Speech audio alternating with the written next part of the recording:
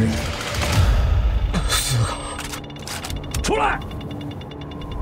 从哪儿来？苏营。来哈尔滨干什么？十八号有个秘密信啥秘密信？叫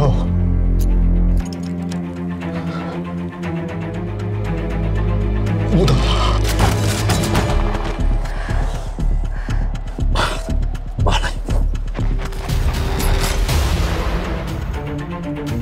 为了这次行动，我们整整训练了七个月。都训练什么呀？跳伞、射击、格斗，还有俄语。告诉我，告诉我，你他妈行动是什么？你说他们是要掩藏什么才付出那么大的代价？